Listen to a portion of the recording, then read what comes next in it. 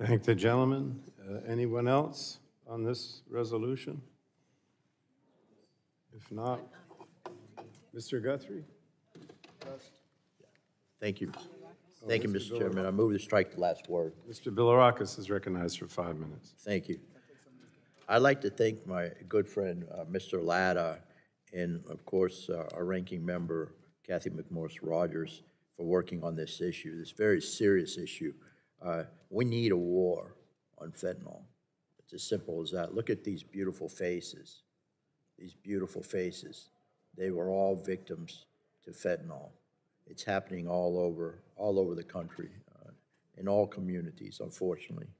So, uh, again, uh, thank you for offering the resolution, Mr. Latta, which asks for accountability from the Biden administration when it comes to combating the unprecedented fentanyl cri- crisis that our nation is currently facing. Sadly, we continue to see an increase in overdose deaths, with the CDC estimating that over 107,000 Americans died of a drug overdose during the past year. Florida, in particular, saw alarming numbers with over 7,000 overdose deaths, the vast majority of which involved fentanyl. This is a far-reaching problem with far-reaching consequences, stretching as far as north, north of uh, Alaska, uh, which saw a 71, Alaska saw a 71% increase in overdose deaths. No state is safe from this crisis, uh, Mr. Chairman. All states have essentially become border states as we work to address the amounts of illicit fentanyl and fentanyl compounds that are flooding in from China and India into Mexico and then across the southern border. Currently, fentanyl overdose is the leading cause of death in the nation for individuals ages 18 to 45. Florida is tracking to surpass our already alarming 59% in overdose deaths due to fentanyl in 2020. It is very clear to me that it is tied to this administration's open border policies. Now we know that the issues of substance uh, abuse, uh, again, uh, substance use disorder and mental health are closely linked and have been very, and I've been very proud that I've worked in a bipartisan fashion with this committee uh, and uh, to, to actually uh, make a big difference uh, in mental health and substance use disorders. So, but it is not enough. You know, we've got to attack this, this issue, uh, whatever it takes, Mr. Chairman, whatever it takes. But it's not enough, and we need to see the Biden administration do more. I appreciate that they finally identified the severity of the impact that global illicit drug trafficking is having on the United States. That said, utilizing executive action to identify this problem in December of 2021 is not enough and falls extremely short, in my opinion. Recognizing that we need to address this crisis is simply step one.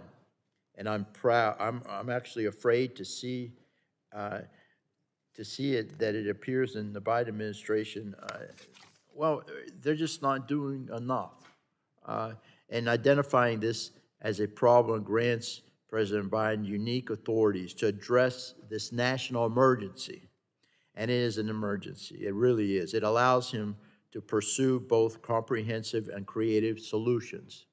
I would like to enter into the record a letter sent to President Biden on September 14th, led by the Attorney General of Florida, Ashley Moody, and the Attorney General of Connecticut, William Tong.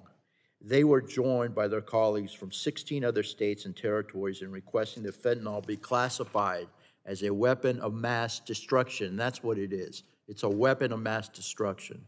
Recognizing the role of international bad actors in the trafficking and distribution of illicit fentanyl, it is time to take immediate action and swiftly utilize all levels of power to address the threat this drug poses on our nation.